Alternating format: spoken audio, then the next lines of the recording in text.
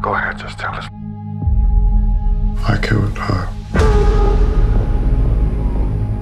Daniel Hegarty. June Lenker, thanks for seeing me. I'm investigating a, a phone call. Police? Listen, he's gonna kill me.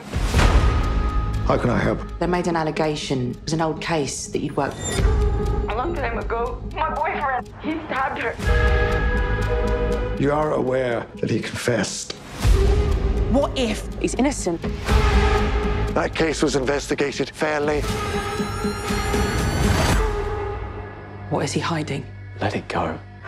Dan is one of the good ones. There are things that nobody teaches you. Sometimes you have to go the extra mile. There's no shame in that. We got our man. No, you got a confession. We need to cover our backs. She's got it in for us. I think he wants to fight. I can do that. That's the game. Collateral damage.